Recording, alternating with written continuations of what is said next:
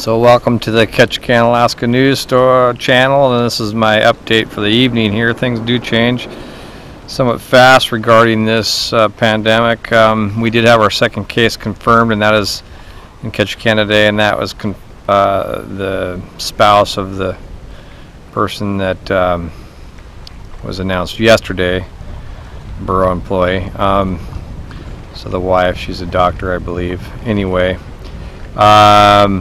The borough or the EOC is putting out press releases, you know, usually in the evening. So I'm trying to update you from that. Um, you know, they are still the same testing protocols, so forth, so on. Uh, a lot of anxiety around the airport. They haven't changed anything there except that they're reassuring everybody that they're cleaning the airport and, you know, the gift shop and the cafeteria are shut down.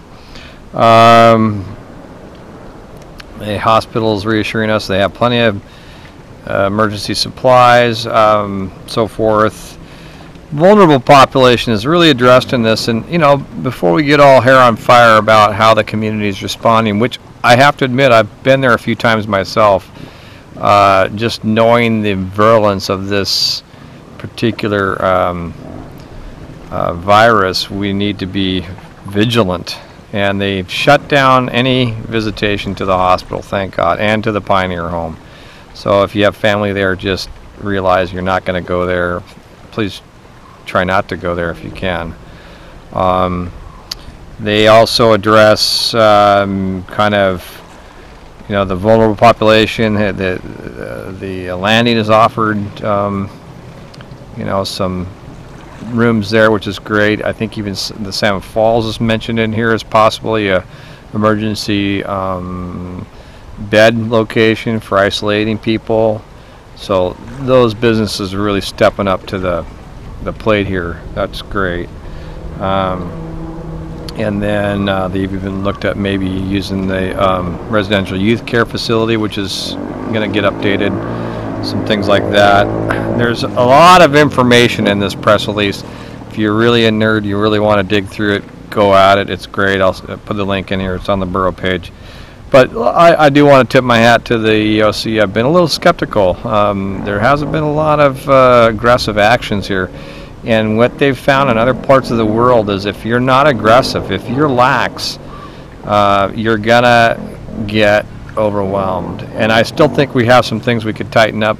Um, I just think this idea that you're only going to find people that are having symptoms, that is a problem.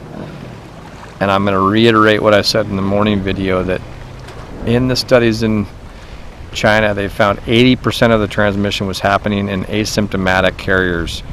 So we just have to assume that everyone is um, potentially in, in, infected. So uh, I know it sounds crazy, but if you can do that, stay isolated, stay to yourself. Um, nobody's gonna hate you if you don't let don't go out.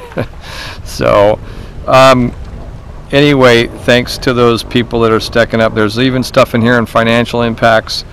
Um, go read it uh, and then uh, stay informed, and that's going to help and know people are out there with your best interest in mind. I do think we need some more aggressive shutdown, and um, and I think we need off-site um, screening um, so that people aren't going to the clinics to get screened. So anyway, that's the update.